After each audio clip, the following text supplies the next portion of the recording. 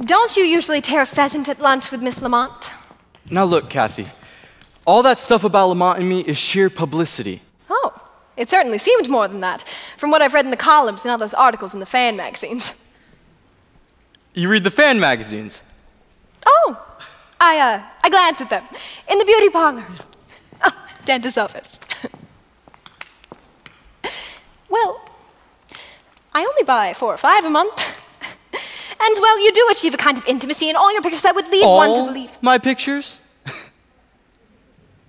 I guess now that I think of it, I've seen eight or nine of them. But I still insist if you've seen one, you've seen them all.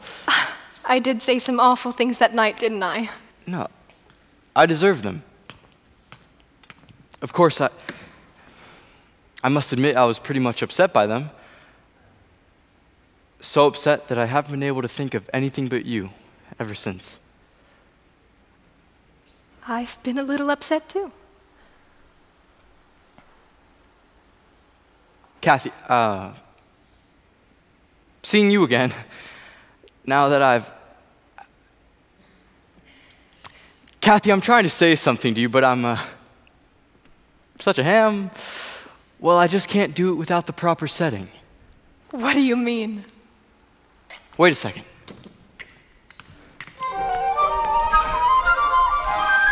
A beautiful sunset. Mist from the distant mountains. Colored lights in a garden. A lady is standing on her balcony in a rose trellis bower flooded with moonlight. We had 500,000 kilowatts of stardust. A soft summer breeze.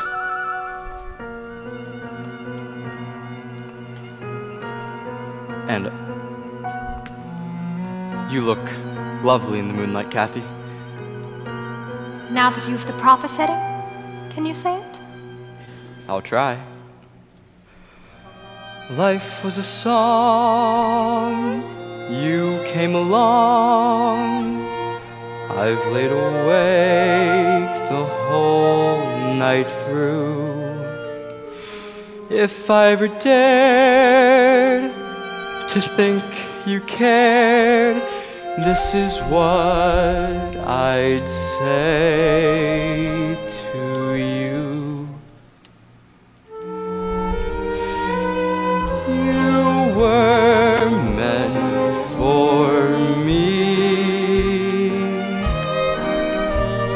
and I was meant for you.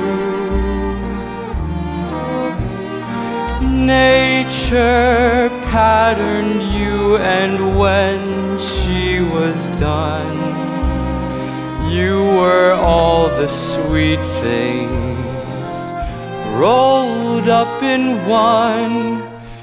You're like a plaintive melody that never sets me free.